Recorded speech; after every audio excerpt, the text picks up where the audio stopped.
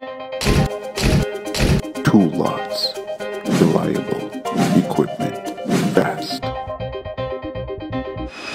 Hi, my name is Kyle LaRue and I'm with Toolots and today I'm here visiting Kimhoo and we're standing in front of the TF8L CNC lathe. Um, some features I'd like to point out about this machine is it's equipped standard with the 8-inch chuck. Uh, it, they also offer the 10-inch which is optional. Um, this specific model is equipped with the manual tool post change. Um, they do provide the automatic which is optional. The specific model is also a 380 volt. They provide 220, 440, uh, whatever you need, they can meet those demands. Um, also, another nice feature about this is it's equipped with the double V boxway, so this improves the stability of your carriage.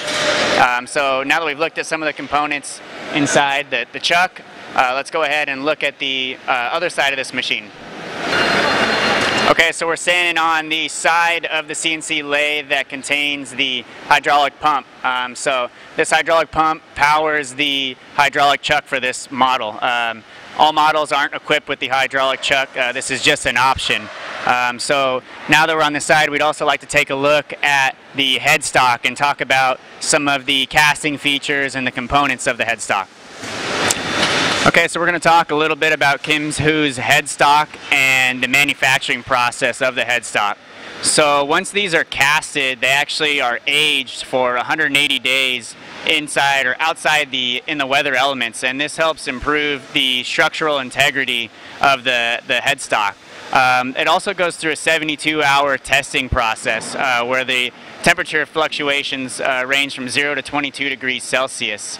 Um, at that 72-hour duration, uh, it operates at a low 80 decibels, so the operation of the machine is, is very low level, low noise.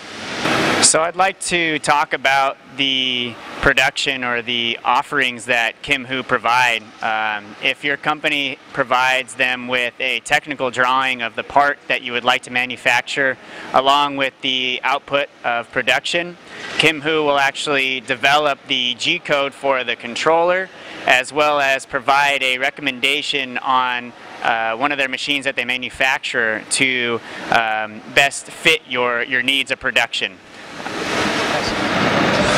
Okay, so we're going to begin facing our material. We're going to remove one millimeter from the face. After facing, we're going to begin our rough turning, which is going to be followed by the smooth turning.